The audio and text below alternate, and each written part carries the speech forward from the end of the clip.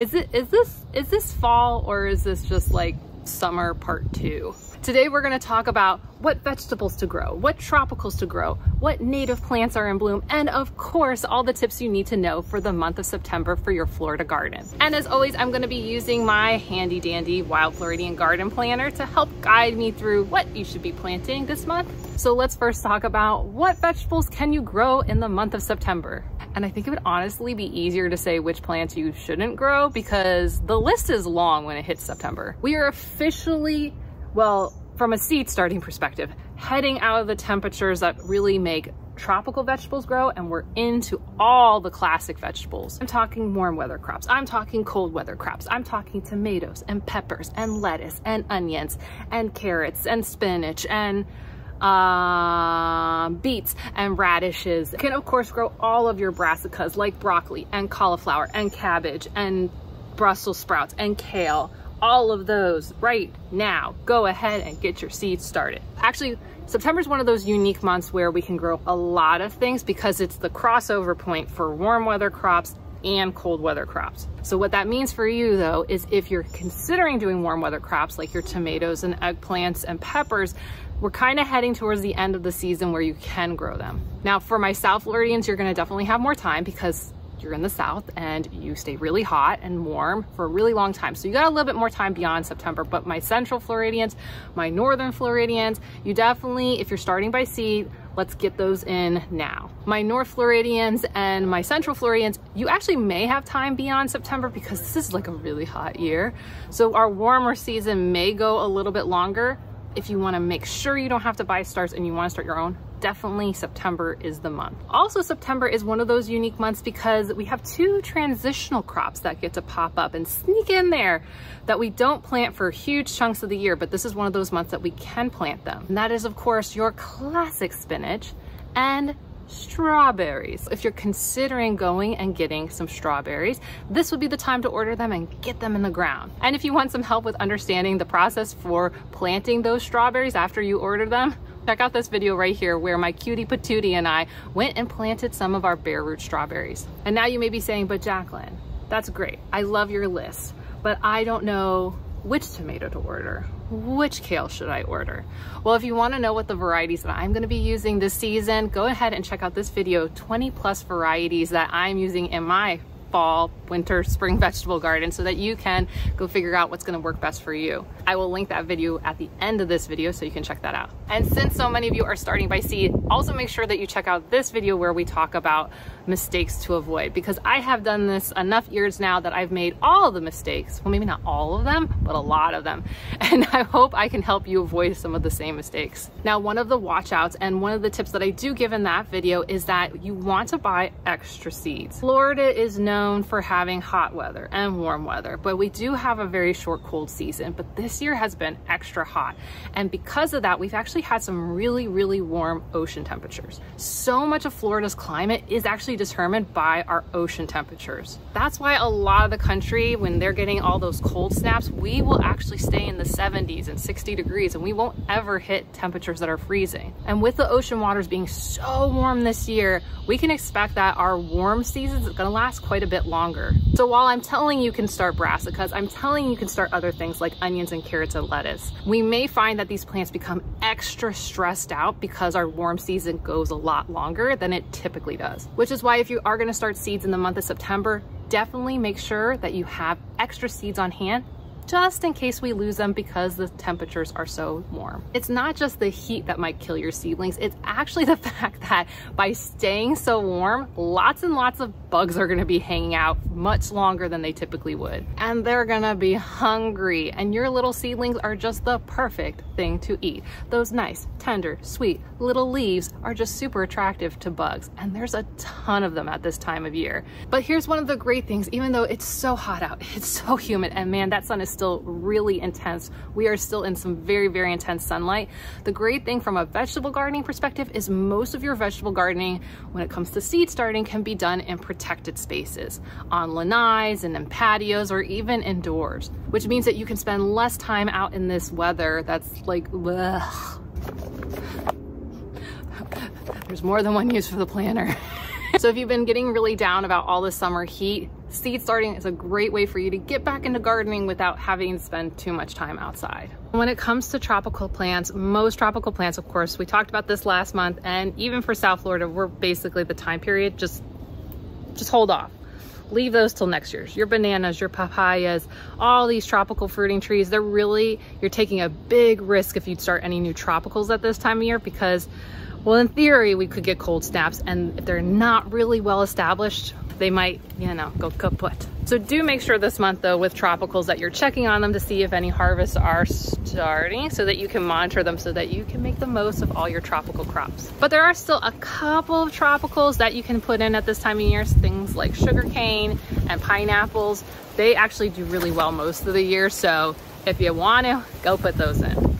Now, when it does come to tropical crops and a lot of our tropical Florida friendly plants, this is actually a time of year that you should I don't know if you should do the work because the heat and the sun and the intensity is really bad right now, but I would definitely be making a punch list, whether it's in your planner or somewhere else. You wanna start putting together a plan for pruning and doing some maintenance on your tropical plants. We're heading out of summer and all these tropical plants just went nuts and they grew like crazy and they are so happy and they might be looking really untidy and it might start feeling overwhelming. so if you can't get to it this month, definitely start putting together a list and putting together a game plan of how you're gonna tidy up your tropicals. This is an orchid. I have no particular tip about this either. It's just pretty and it finally bloomed. Ben and I have been going through actually a lot of our flowering plants this month and trying to get them a bit contained. Everything from our dwarf poincianas to our ixoras to hibiscuses. We are trying to knock all of them back just a bit because we want to give them some time to recover before it gets cold out because they're not big fans of the cold. And this would allow them to grow and fill in and maybe throw out some extra blooms, but while not looking like absolutely crazy. oh yeah, and speaking of someone who needs to get pruned again, our giant flamboyant Poinciana, it actually has put out blooms, making it really hard for the choice that we need to make about what we're gonna do with this tree. Oh, I go back and forth every day. you may be thinking it's just all of our tropicals that have been loving the heat and the humidity and been putting out blooms, but honestly, there are a ton of native plants that are going to bloom right now. You all have heard me talk about this plant over and over again, and that is dotted horsemint, AKA spotted bee balm.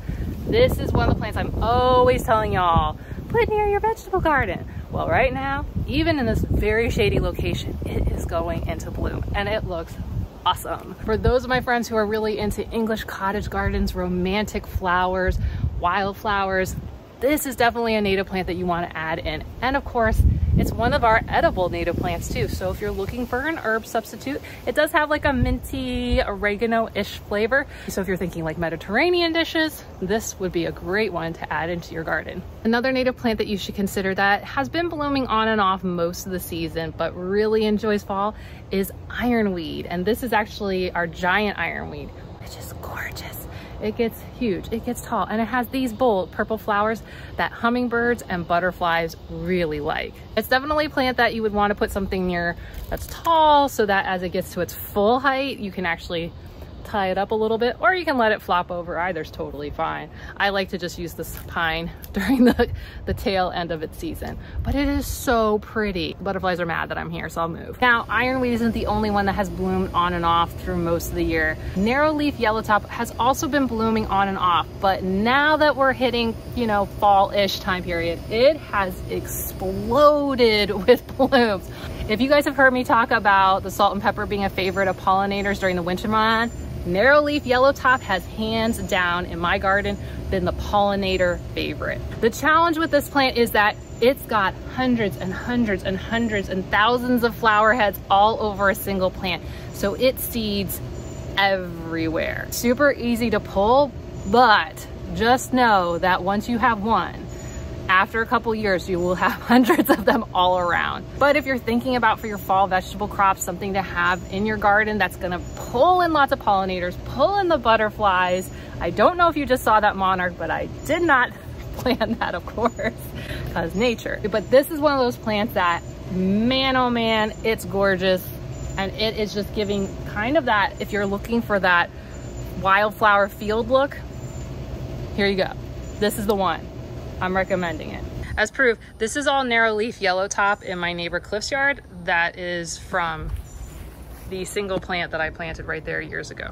And another native plant that is just, well, it's just one that you have to have. If you're going with native plants, you gotta get a firebush. This is my neighbor's, his is huge. You don't have to let yours get huge. You can actually keep it way smaller if you want to. Firebush is definitely one of those plants that loves the intense summers of Florida and thrives on it. And it is a great bloomer and a standard native plant that if you're looking for not a wildflower that has that's there for part of the year and then may not come back the next year. This is definitely one of those perennials that goes and goes and goes. And it attracts all the things. We've talked about it before. It's got the bees and the butterflies and the birds and the hummingbirds. They all like it. So if you're not sure where to start with native plants, I would definitely start with firebush, which is so happy at this time of year. Of course, a Florida Fall Classic is the Beauty Beautyberry. These are coming in to full ripeness so that the birds can make their great migration. Which is actually one of the things to make sure that you're aware of is as we head into September, we're really getting into monarch migration and the beginning of potential songbird migration heading south. So having these plants like beautyberry, which you can make beautyberry jam in, but most of my beautyberries just go to, you know, wildlife. You won't usually see them picking on it yet, but come in the next couple months, yes, they're gonna start picking away and picking away and picking away at the beautyberry. And what makes this a little bit different as versus like your firebush is this is one that actually likes some shade. So if you have one of those shady areas, especially under oaks, this is a great plant. I honestly don't have any tips around skyflower or any particular reason that you need to plant it other than it's just pretty. So you can see some popping up in the middle of my sunshine mimosa. So, you know, if you're just looking for blue and pretty, skyflower.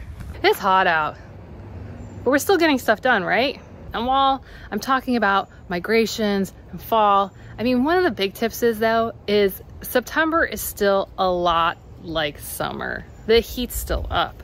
The sun intensity is still up. The humidity is still up. I mean, and while the rain isn't typically consistent, it's usually kind of, we go days and days without any rain and then we get a deluge. Because of that, we get full sun days, which makes it really hard to be out here in the garden. The big thing you need to keep in mind is if you're starting to beat yourself up because stuff are, is getting a little bit out of hand or you haven't started things yet because it's just overwhelming to be outside, that's normal. It is really hard still to garden in September, especially in Central and South Florida, and even probably North Florida. It's still really hard to garden from just being outside. So you do need to still practice those same summer tips of garden early or garden late. But honestly, the lows have been so high that it's still really hot even before the sun gets up. So if you're feeling down, it's okay.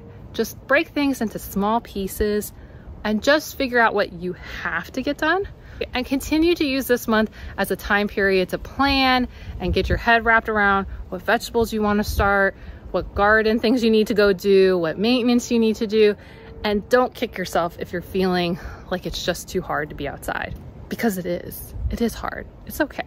Get this plus other tips in your Wild Floridian planner and make sure you lock in your 2024 planner at www.wildfloridian.net slash planner presale as of today, go and order your 2024 copy and lock it in. So if you're feeling a little bit motivated and you want to one, know how to go plant bare root strawberries, check out this video here. And if you want to know what varieties of seeds I'm going to be using throughout the vegetable gardening season, check out this video here. Avoid these mistakes when starting seeds. Okay, I'll see you soon. Bye.